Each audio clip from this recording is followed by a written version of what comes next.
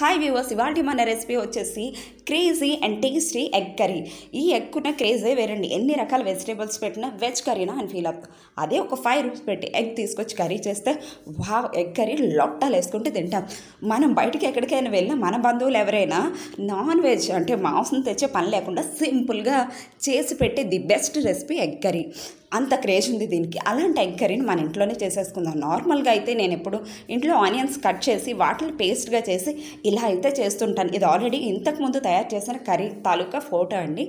అది అప్పుడైతే నేను ఎగ్స్ ఫ్రై చేయలేదు. ఈరోజు ఫ్రై చేసి ఆనియన్స్ని పీసెస్గా కట్ చేసుకొని కర్రీ చేస్తున్నాను. ఎందుకంటే మా ఇంట్లో వాళ్ళు అలా చేయమని ఈరోజు అయితే అడిగారు. సో అందుకని చేస్తున్నాను. ఎలా వచ్చిందని మీరు ఫైనల్గా కామెంట్ చేయండి. ముందుగా అయితే మన ఛానల్ సబ్స్క్రైబ్ చేసుకోండి. బెల్ ఐకాన్ నొక్కరు మాత్రం మర్చిపోవద్దు. ఓకేనా? చూసేద్దాం. మనం చేసిన కొలతతో చేస్తే ఇలా అనేది కర్రీ వస్తుంది. ఇంకెంత కాసేపు లెటర్ స్టార్ట్.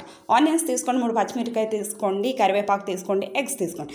ఎగ్స్ని ఫస్ట్ ఒక బౌల్లో తీసుకొని వాటర్ వేసి బాగా బాయిల్ చేయండి. తొక్కలు తీసి పక్కన పెట్టుకొని ఒక బాండీలో ఒక రెండు టీ స్పూన్ల ఆయిల్ అనేది వేయండి. దాంట్లో కాస్త సాల్ట్ వేయండి. ఓకే ముందుగా ఎగ్స్ని ఇలా ఘాట్లు పెట్టుకొని ఉంచుకున్నారంటే ఫ్రై అయిన తర్వాత కర్రీలో వేస్తే దీనికి అనేది చక్కగా మన కర్రీలో ఉన్న రసం అనేది పడుతుందండి. ఓకేనా?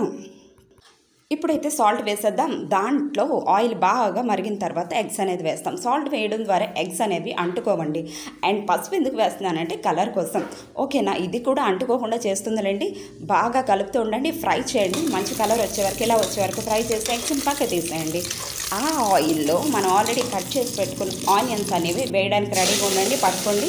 ఫస్ట్ కరివేపాకు వేసి తర్వాత పచ్చిమిర్చి వేయండి. బాగా ఫ్రై చేయండి. చేసిన తర్వాత ఆనియన్స్ అనేవి వేయండి. వేసి దాంట్లో ఆనియన్స్కి సరిపడినంత సాల్ట్ మాత్రం వేయండి. ఎందుకంటే సాల్ట్ ముందుగానే ఆనియన్స్ పడితే చాలా టేస్టీగా ఉంటుంది.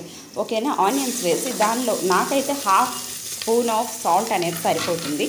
సో నేను అలా అయితే తీసుకున్నాను. చక్కగా కలిపేసేయండి మూత పెట్టండి బాగా మగ్గాలి మగ్గిన తర్వాత టమాటాలు వేసి మరలా మూత పెట్టండి. ఒక్క ఫైవ్ మినిట్స్ తర్వాత టమాటాలు కూడా బాగా మెత్తగా అయిపోతాయి. మొత్తం కలిపి కాస్త కారం అల్లం వెల్లుల్లి పేస్ట్ వేసి ఇలా బాగా కలపండి.